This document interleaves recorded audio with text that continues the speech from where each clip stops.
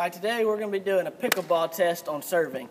So the things you need, you need a racket, need a wiffle ball, need a pickleball net, and a pickleball court, which we have taped out right here. And the way you set up for this uh, game, it's going to be serving on accuracy. So the way we have it set up is four squares. The server's on the other side of the net.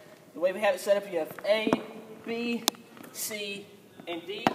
And the way you perform this is the server's going to have two attempts from the back service line to hit into uh, each square. So he's going to have two attempts at A, two at B, two at C, and two at D. So when we start the test, he's going to line up on the back service line and he's going to attempt two in each, and the score's going to be out of eight. So he's going to have two attempts at each.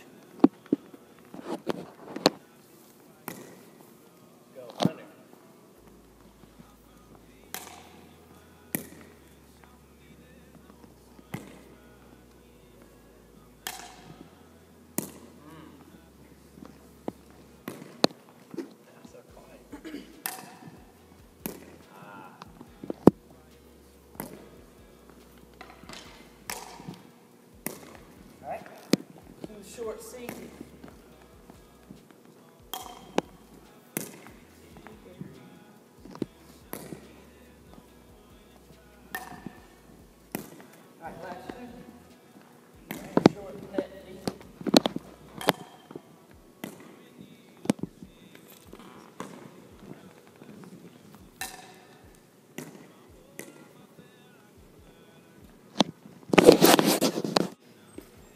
Okay, this is pickleball uh, forehand return.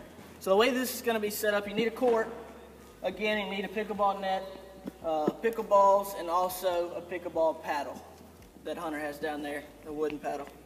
So the way this is going to be set up is the instructor is going to stand on this side of it. So for the forehand, you're going to throw four forehand attempts to the recipient. So you're going to throw four, and he's going to forehand it. The way that you get a point is just hit, returning it back inbounds on this side, so it could be anywhere inbounds. The only way you would not get a point is if you actually hit it outside the court and it's not in fair play. So this is how it's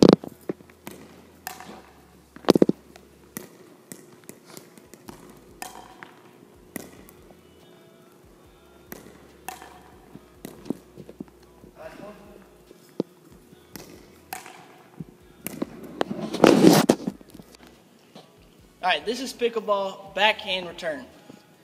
Again, you need a pickleball court, pickleball net, pickleballs, and a pickleball paddle that Hunter has on that end.